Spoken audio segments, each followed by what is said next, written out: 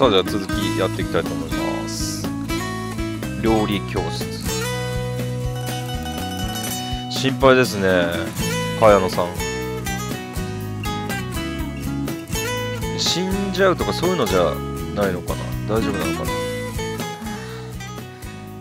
さすがに受講者は減ったか。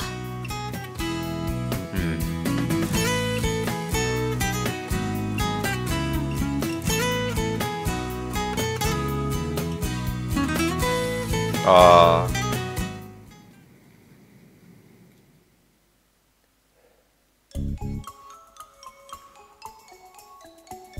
うん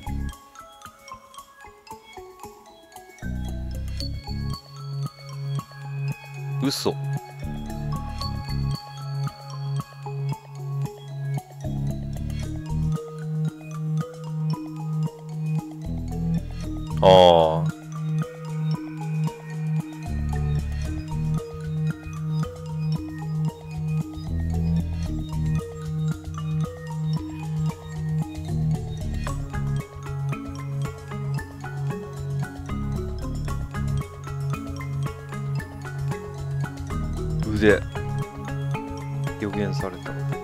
なんて言われたんだ？えー、あ左手？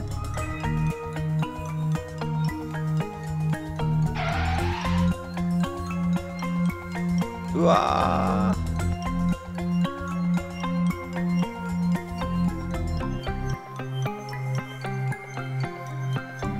うわー。いやでもな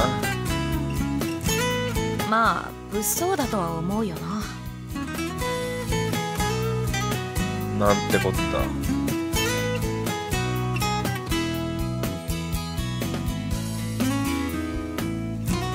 だからか。その近くで、うん、出るからっていうことか。うん。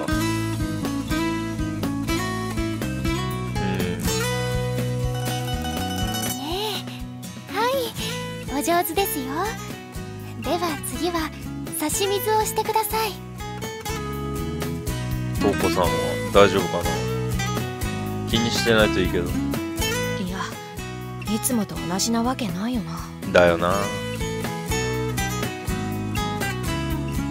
うよく見てる。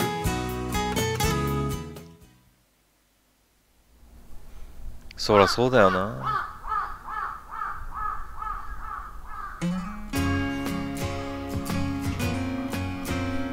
駅前の本屋に寄ろうと思っていたんで問題ないですよ。それに物騒だからか。こんな美人と一緒に帰れるなんて約束ですしね。これはイケメンだな。うん。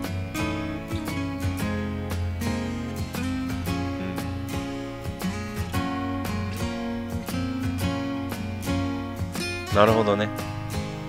喪服の女がうろついているかもしれないしそれに。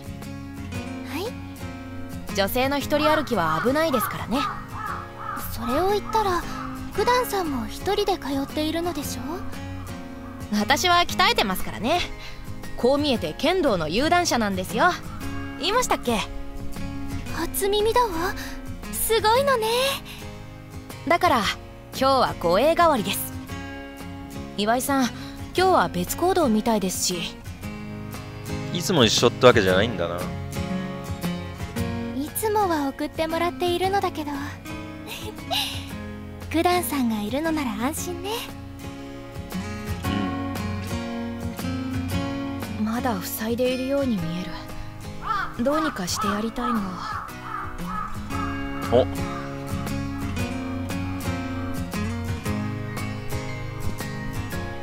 ロックは違うんじゃないかなこっちで。うん。あ？緑になった。なんだろう。どんどんあれなのかな？なんか赤くなったりするのかな？むしろ私の方が分かりやすいしな。うん。そうだね。あれはでも結構長く、うん、絡んでるからじゃないのかな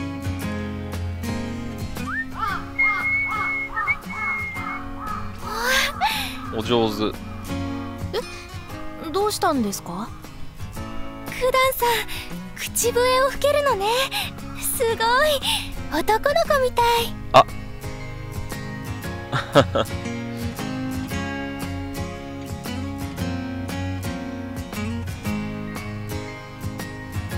もしよかったら教えましょうか。いいの？俺指笛っていうのできないんですよ。あのアニメとかでなんか鳥呼んだりするときに吹くやつ。あれかっこいいよな。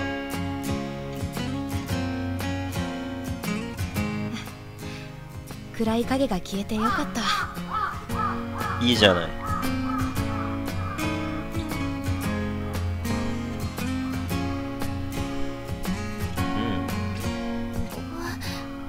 こう？ええ。それで舌はそのまま初めは唇を「湯」を言う形にして息を出してください。あ確かに湯だ。う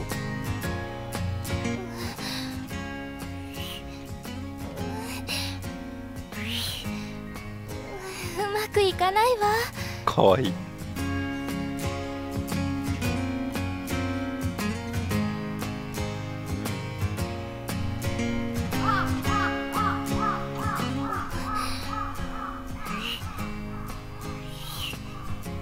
大丈夫。やり方は合ってます。うまくいかない時は唇の隙間を狭めたり息が強すぎたりするからです。ああ強すぎたら出ないよね。確かに。そうなの？お。いいね。あとは何度もその音が出るように練習して好きなメロディーを吹いて練習すれば OK ですよ練習あるのみね。あでも夜口笛を吹いたら蛇が来ないかしら。ああそういう迷信あるよな。ガキン頃よう言われたわ。う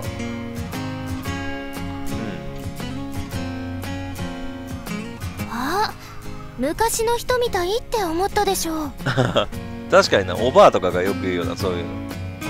いえ可愛らしい人だなって あら。うん。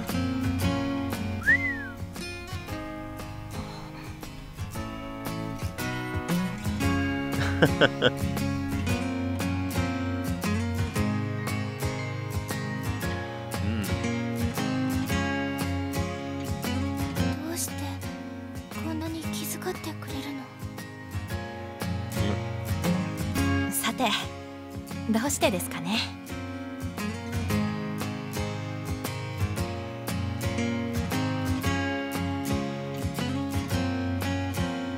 体育会系でらしくない趣味だと思われるんですが昔から映画や漫画サブカルチャーが好きで多分2番目の姉の影響なんでしょうけど。姉と一緒に見た映画の中で子供ってのは大切なものを簡単に捨てたがる。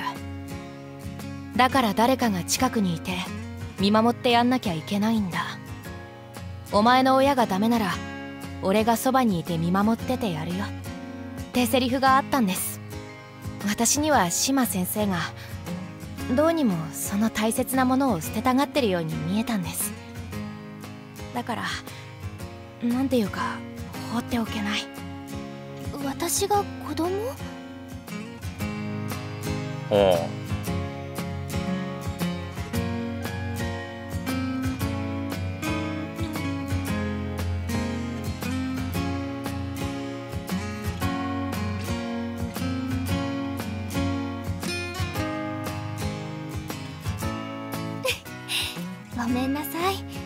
困らせてしまったわね。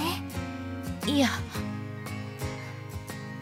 でも放り出そうと捨ててしまおうかと思っていたのは本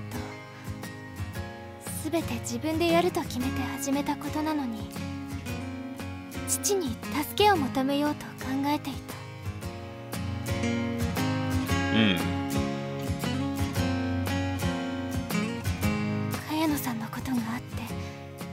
私も不安に駆られた。でもそれは不審者が徘徊しているだけ。そう思っていたの。けれど。て。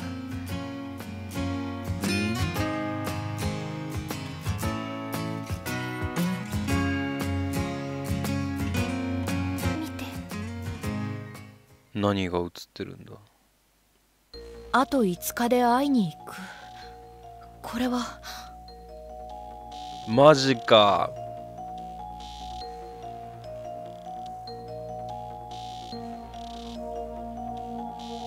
これは脅迫されて？ええ。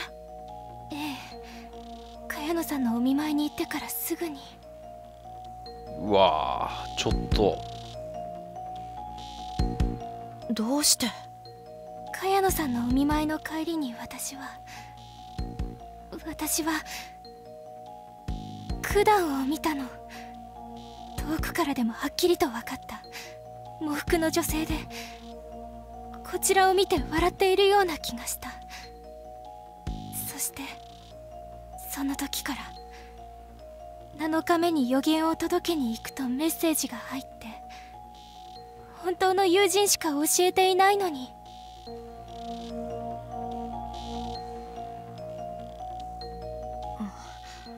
わかりません。うん。だよな。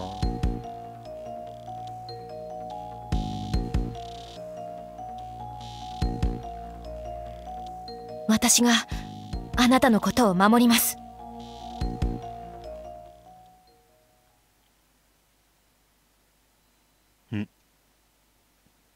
なのか？あと5日 ?4 日か。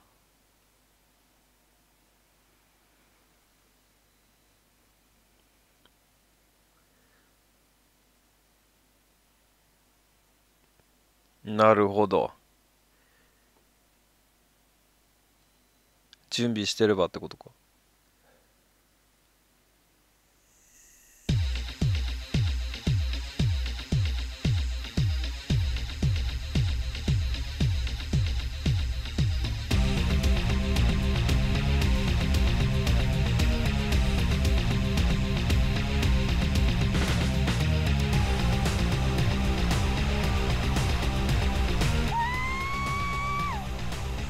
う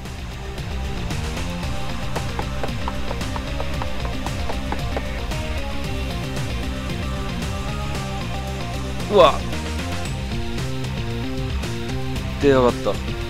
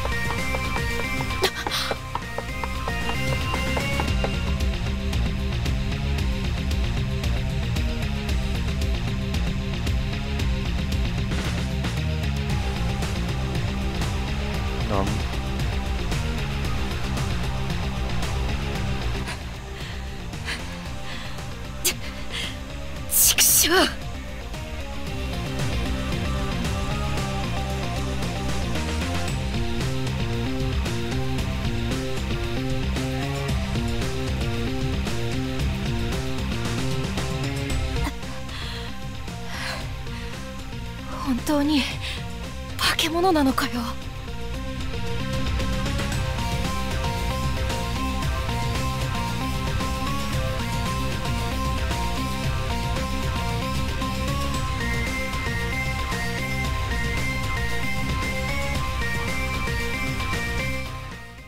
なんてこ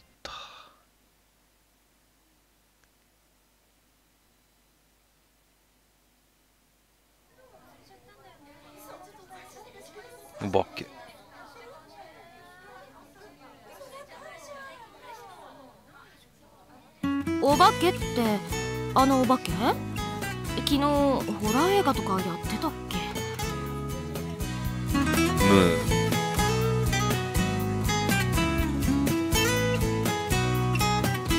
ムいやなんでもない。忘れてくれ。まあ信じてもらえんべな。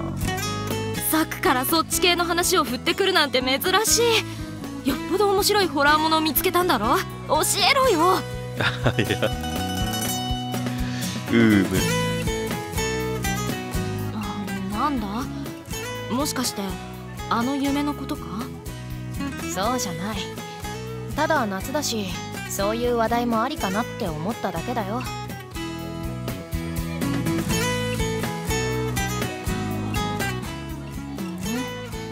まあ違うならいいけど。お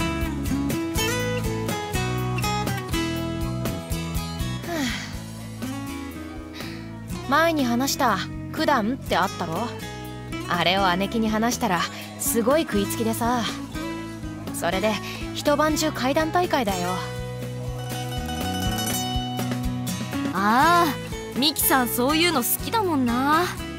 で一晩中聞かされている派にくら替えしたってわけ？お化けを信じるかなんて聞いたってことはさ。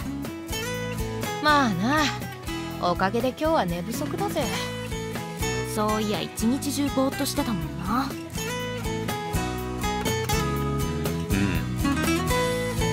うん。こいつを巻き込むわけにもいかないしな。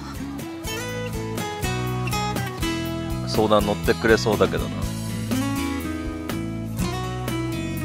お化けを信じるか否かか。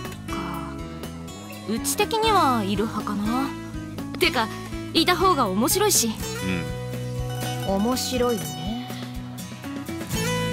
まあ確かにな。それよな。約束した以上相手が何であれ守る。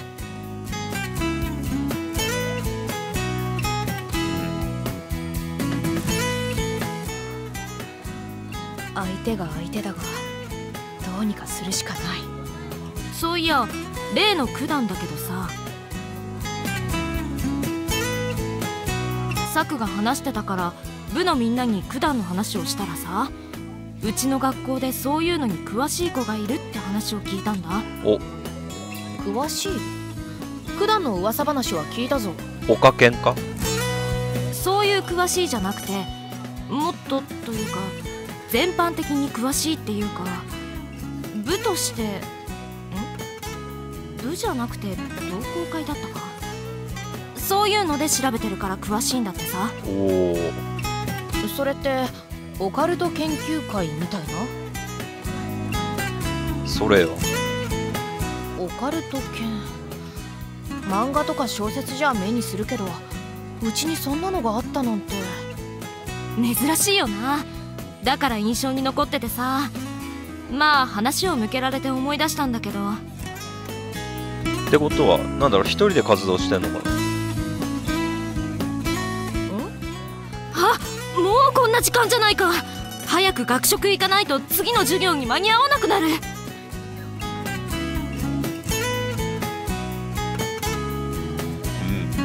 餅は餅やって言うしな。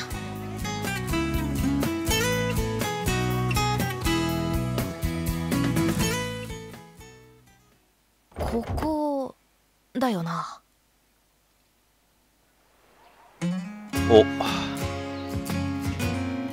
神秘学研究会。騙されたってわけじゃないよな。ひっそりと。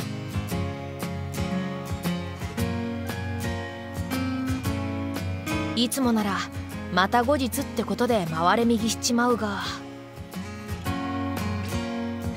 時間がねえかんな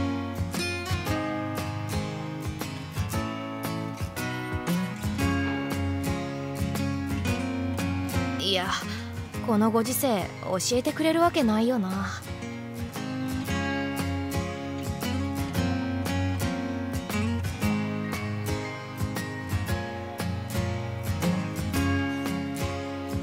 うん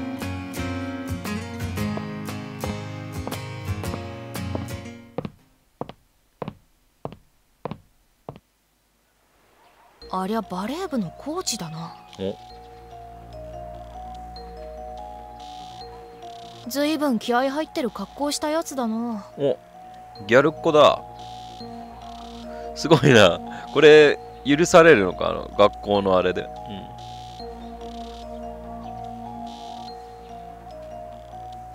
ええな。ちあれじゃないか。注意されてたんじゃないか。生活指導に。そういただ虚勢を張っているって言うんだよすごいな。大体なんだ？この隊は高速違反じゃないか？みんなとは違うだろ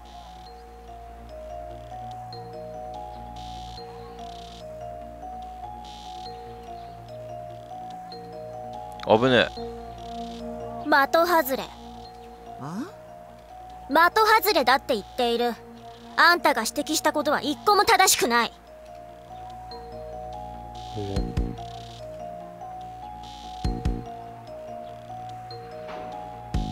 前誰に向かって口聞いてるのか分かってんのか？知るわけない。あんた名前すら名乗ってないだろ。まずそっちが礼儀を学ぶべきじゃないのか。強気だ。お前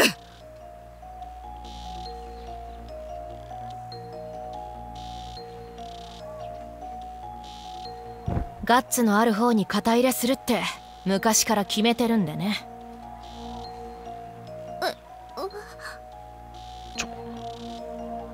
す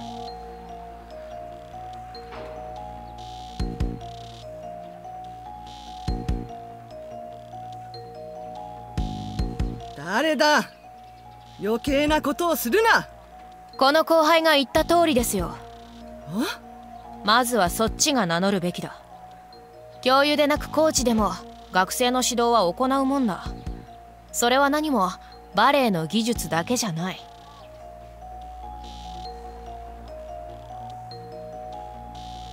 でバレー部のコーチが何の指導をしていたんです？まさか服装の注意とかですか？は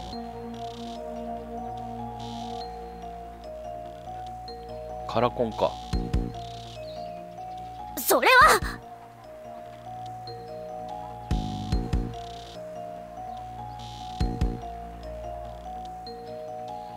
まず第一に注意していた装飾品ピアスやカラコン頭髪については自由が認められている。そうなんだ。まあそうじゃなきゃここまではしないか。嘘をつくな。コーチは外部の人間だから校則までは目を通していなかったみたいですがね当校にふさわしい身だしなみでいること。これしか明記されていない。あ バレー部でも軽く茶や赤に染めている生徒はいますよね。体育科でも程度の差はあれやっている。服飾品がまずいというならバッグにつける缶バッジはどうなんです？それは。ふさわしいっていうのは程度の問題ですよね。確かにこいつは気合の入った格好をしちゃいますが質問され突き飛ばされるほど校則を破っちゃいないでしょごもっともで。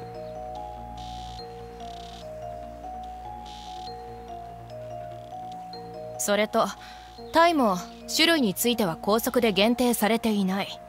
ネクタイはつけるようにってだけでね。お前はそれと名乗り忘れましたが私は九段咲夜です。体育科の2年剣道部所属。なるほど。肝が据わっているな。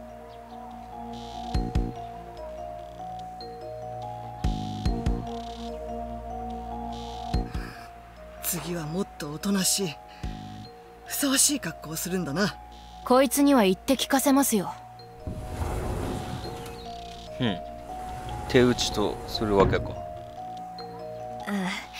今から入ろうと思ってたのに入りづらいなこりゃ。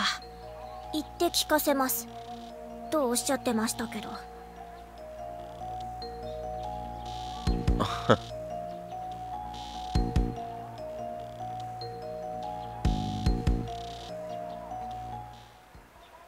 小賢しい下級生に世の中の渡り方をご教授してくださるのですか？強そう。何がおかしいんです？いや初めに思った通りの気骨のある性格で嬉しいんだよ。それとあれは方便ってやつだ。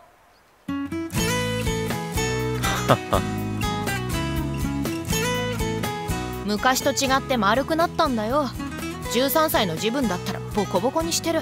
ひえ。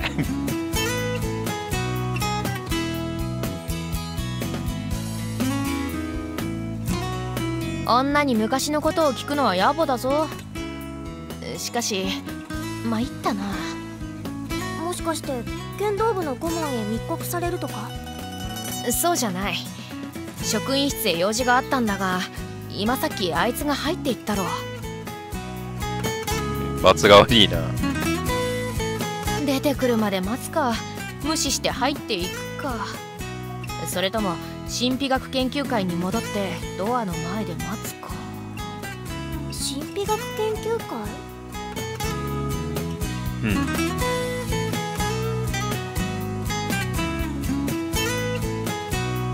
それなら話は早い。おお入ってるのかもしかして私の名前は秋梨こと普通科の1年。そして先輩お望みの神秘学研究会の部長です。ててん。マジか。あーあれで秋梨って書く。んだ高梨みたいな感じか。ことちゃん。小うさぎ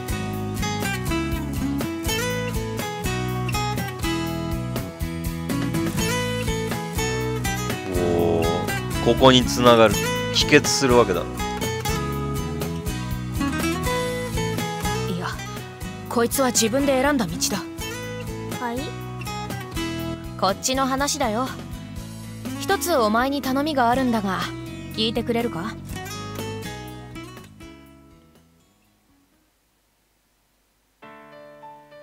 おお。少女足すゆり足す都市伝説イコール九段のフォークロア。少女たちの恋愛と都市伝説。フォークロアが織りなす物語。スケラスパーロ最新作。九段のフォークロア。4月26日発売。よろしくっす！なるほどなるほど。ことちゃんもうちょっと見たかったですけどね。